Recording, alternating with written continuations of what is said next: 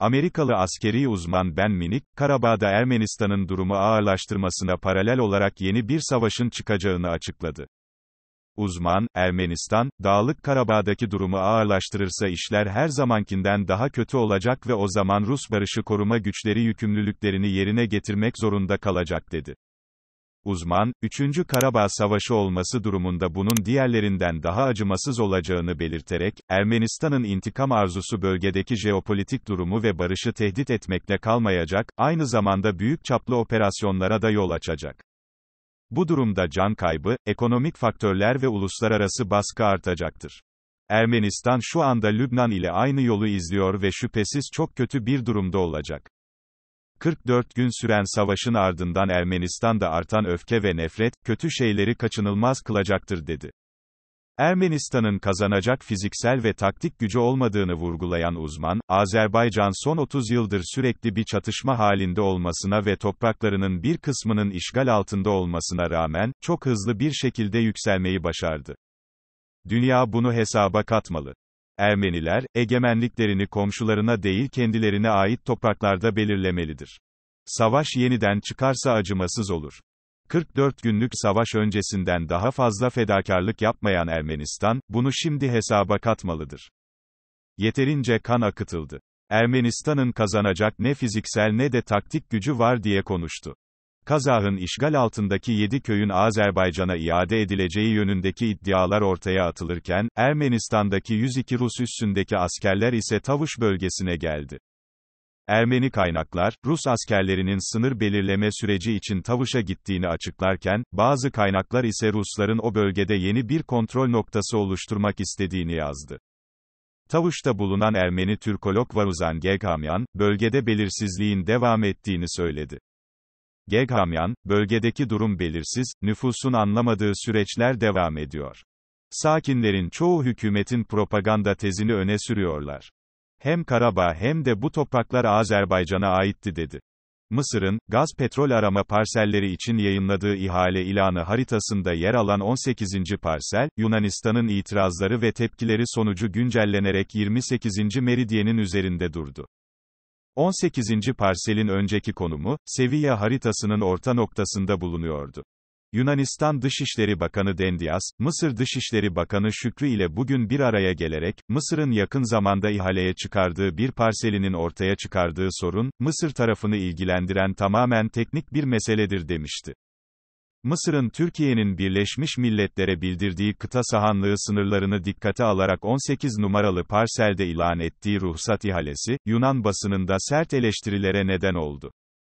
Atina'da yayımlanan Proto Dema gazetesi, Mısır'dan kalleşlik başlıklı haberinde, Mısır'ın Türkiye'nin kıta sahanlığı olarak ilan ettiği bölgeyle sınırlanan parselde hidrokarbon araştırma izni verdiğini belirterek, Kahire'nin bu konudaki kararını Mısır devlet mekanizmasının 3000 yıllık bürokrasisinin kalleşliği şeklinde nitelendirdi. Haberde, Mısır'ın bu tavrının Atina'nın tepkisine yol açtığı ve Yunanistan Dışişleri Bakanı Nikos Dendias'ın, Mısır Cumhurbaşkanı Abdülfettah Es-Sisi ile gerçekleştirdiği telefon konuşmasının ardından acil olarak Kahire'ye hareket ettiği belirtilerek, Kahire ve Atina arasında aslında bölgede hidrokarbon araştırması yapacak şirketin belirlenmesi konusunda çıkan uyuşmazlıktan kaynaklanan bir anlaşmazlık yaşandığı ileri sürüldü. Tanea gazetesi de Mısır'ın Türkiye ile sinsi oyunu başlığı altında yayımladığı haberinde, Mısır'ın, Atina ve Kahire'nin münhasır ekonomik bölge olarak anlaşmaya vardığı deniz bölgesinin güneydoğu tarafındaki bir parselde, hidrokarbon araştırması için izin vermesinin Atina'da ciddi kaygılara neden olduğunu yazdı. Atina'nın, Mısır ve Güney Kıbrıs Rum kesimine giden Yunan Dışişleri Bakanı Dendias ile diplomatik satranç tahtasında yeni girişimlerde bulunduğu ifade edilen haberde, Mısır ile Türkiye arasında olası yakınlaşmayla ilgili açıklamaların Atina hükümetince yakından izlendiği belirtildi. Yunan Enerjiya portalı ise, Kahire'den 18. parselde izin verilmesinde soru işaretleri başlığını kullandığı haberinde, Mısır Enerji Bakanlığı'nca, Atina ve Kahire'nin münhasır ekonomik bölge olarak belirlediği deniz bölgesinde hidrokarbon araştırmaları için izin verme kararı birçok soru işaretleri yaratıyor, değerlendirmesinde bulunuldu. Mısır bölgede yeni bir harita yayınlamış olsa da güvenlik kaynakları, Türkiye ve Mısır'ın işbirliği yapması için potansiyel yüksek ortak nokta çok dedi.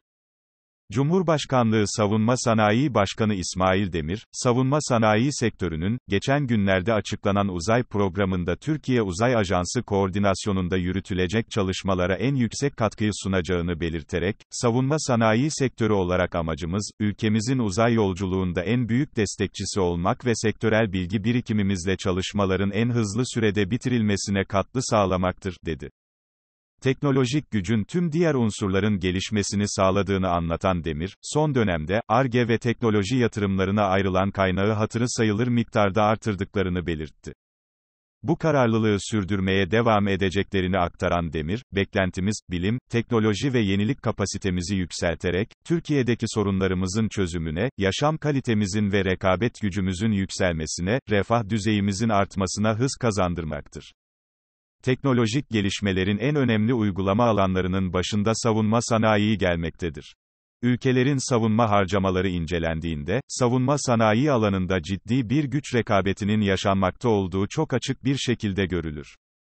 Savunma sanayi ihracatının ileri teknoloji ihracatı olması nedeniyle bu sektörde güçlü olan ülkeler stratejik rekabet üstünlüğüne sahip olurlar. Burada önemli olan ülkemizin stratejik rekabet üstünlüğünü sağlayacak bir değer zinciri üretebilmektir dedi. Demir, Savunma Sanayi Başkanlığı olarak, güvenlik güçlerinin ihtiyacı olan sistemleri azami oranda yerli ve milli imkanlarla sağlamaya çalıştıklarını belirterek, bunu yaparken geleceğin harekat ortamına ilişkin teknoloji ve trendleri yakından takip ederek, buna ilişkin çalışmalara da bugünden başladıklarını kaydetti.